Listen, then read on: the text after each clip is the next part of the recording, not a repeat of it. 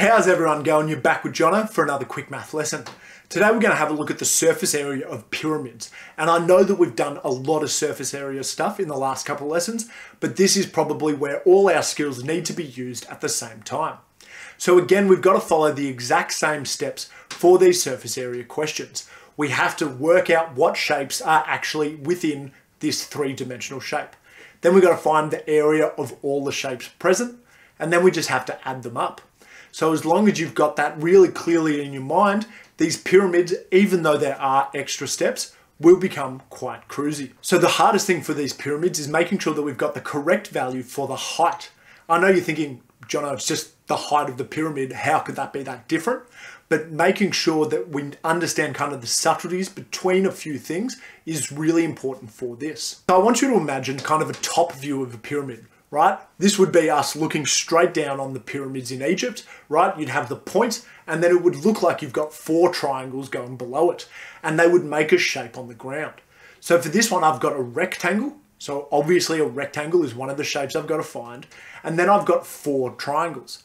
Two of them are in pairs, right? The ones using that same side length of the rectangle. Those two go together and the other two also go together as well. So one way that we could work out the area of this pyramid is to create a net. So that's where we fold all the triangles around that rectangular base. And from here you'd go, oh, Jono, this is easy as. We've got a rectangle and I've just got to find out two pairs of triangles happy days. But the important thing for this pyramid is I've got to use the height of the triangle that is now on my net. So that is this green line that's going straight through the middle. The area of this is obviously just a half times base times height, but the height there is not actually the height of the actual pyramid. It's what we call the slant height or the height on the side. I sometimes think about this as like it's the steps up the pyramid. That's what we've got to use, not the actual altitude of this entire shape. So just in this drawing here, I've made a bit of an exaggerated version so you can see why these two things are so different. I am actually pretty proud of this drawing. It took me ages to do, unfortunately. But if we look at that height there, right, it's not that high at all. But I'm saying that that whole side of that rectangle is incredibly long, and then the height of my triangle that I'm standing at at the base is quite short. If I then rotated that height from where it is to the height of the slant height, so the actual steps going up to that top bit, it would look something like this. That's obviously way smaller than the height of the actual pyramid. So the height of the triangle is different to the height of the actual pyramid that is given. And that's what makes these questions a little bit difficult. So the first example we've got here is where the slant height is given. These are the easier types of questions because we've been given the height of the triangle that we need to find. These ones are pretty cruisy. I do like to use different types of pens or different colors just to make sure I've got everything down. You obviously don't have to, but it is something that just scaffolds everything in my mind that I would recommend you do if you are struggling. So obviously I've got the base of the rectangle as my first shape. I just have to multiply 7 and 10, which will give me 70. Happy days, that's nice and easy. So then to find out the area of these two red triangles, I would just have to do a half multiplied by 14 times by 10. But because I've got two of them, I have to multiply it by 2. And just as a trick to make this a little bit quicker, because a triangle is a half, and I've got two of them, those two things cancel out. So all I have to do is the 14 times 10, which gives me 140 meters squared.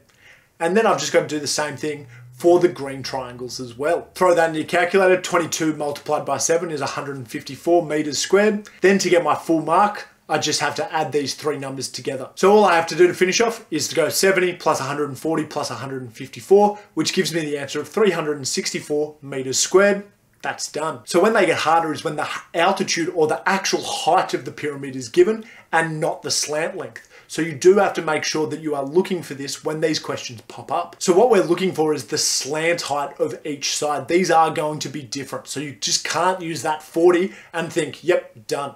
So we're looking for this blue and green line that come down from here. So if I wanted to draw a triangle here or like a little slice out of this pyramid, I could take a line straight down that altitude from the very tip down to the base. Now, if I assume that this base is exactly level, that baseline is going to be exactly perpendicular to that hot, to that vertical line that we just drew. That means that I've got a right angle at the bottom, and then my slant length there is going to be the hypotenuse, or that's how many steps I would have to take to get to the top of this pyramid. So then we've just got a nice easy Pythagoras to do in order to find the slant length. The only thing that is kind of difficult to see conceptually is that that base length that we're taking is going to be half of the other side of the rectangular base. And that's where students do make a mistake. They just put the wrong numbers in the wrong spot.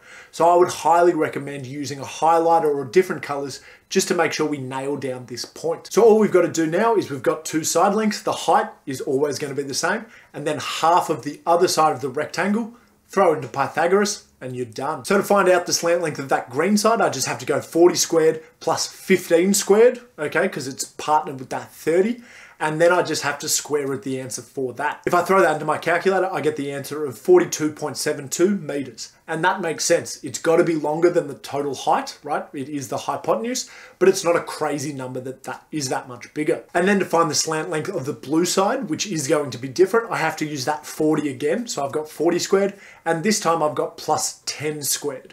If I throw that into my calculator and square root the answer, I get the number 41.23 meters. And this actually does usually happen. The longer side will have a shorter slant length and then the shorter side will have a longer slant length. So that's something just to check up on as you're going just to make sure that this does make sense. So now I'm in the same position that I was when I was given the slant lengths. I can just work out the question here.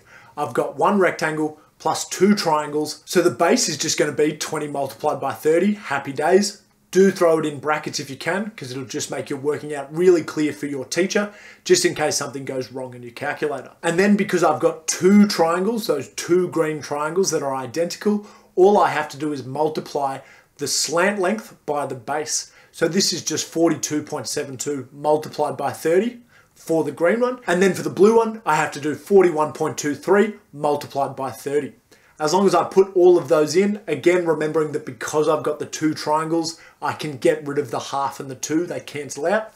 You just throw that into your calculator and you're gonna get the correct answer. So if I throw this into my calculator, I get the answer of 2,691.30 meters squared.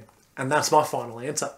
So I know that this lesson was a little bit more difficult, especially for this surface area topic, but just making sure that we identify what the slant length is every time will get you more than halfway to getting these correct. Apart from that, it's just triangles and rectangles all over again. So identifying the slant length is your number one goal when you approach this question. Thanks so much for watching, and I'll see you guys later.